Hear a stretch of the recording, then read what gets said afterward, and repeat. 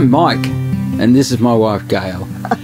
we're the Quarmbys of Reedy Creek, and uh, we're at Reedy Creek Nursery, of course, um, which is the home of Outback Pride, Australia's largest supply of Australian native food ingredients. We produce about 30 to 40 tonne of Australian native foods a year, most of which come from Reedy Creek in the form of fresh herbs, fresh leaves, vegetables, and fruits.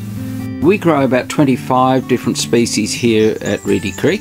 It was very much a starting small, feeling our way, but making sure we developed a market at the same pace as we were developing the, the produce going into it.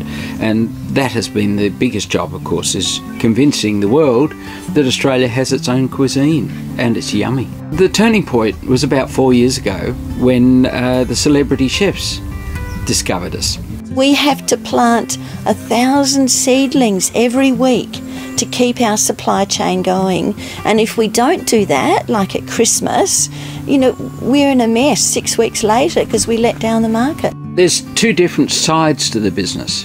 One is our, what we call our grocery side, and that has value added products, which is jam, sauces, relishes, chutney, cordials, dried herbs and spices, dukkas, all of that sort of thing. Whereas the food service, which is all the fresh produce, it is designed to be consumed straight away. Same as salads in a supermarket, that sort of concept. It's picked here at Reedy Creek.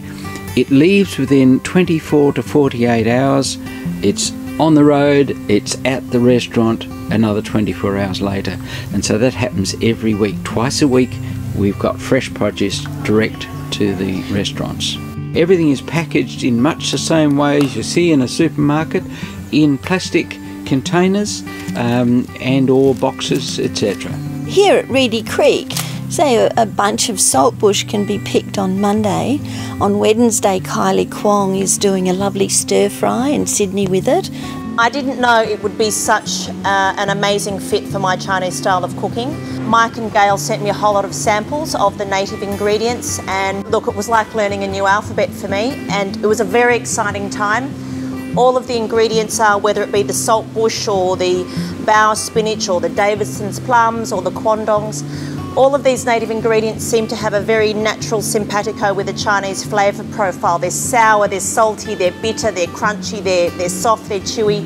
It's like a match made in heaven, absolutely amazing. It's amazing, it's kind of revolutionised what we were doing at Billy Kwong. The fact that it's farmed as opposed to being foraged is essential. We have a very busy restaurant that's open every night.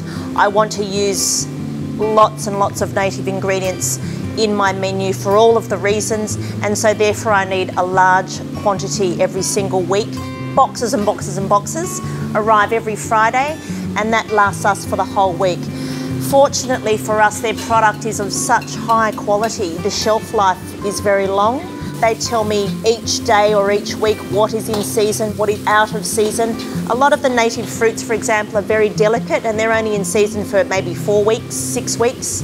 So Mike always tells me that immediately and I special them in the restaurant. Because they've got such a short life, it actually makes them even more special. So we pass that on to the, the customers as well. They're like precious little jewels. Our diners have been truly amazing. They're adventurous, they're completely interested. Native Australian ingredients are an integral part of my food for now and for always. They're very much a part of my identity.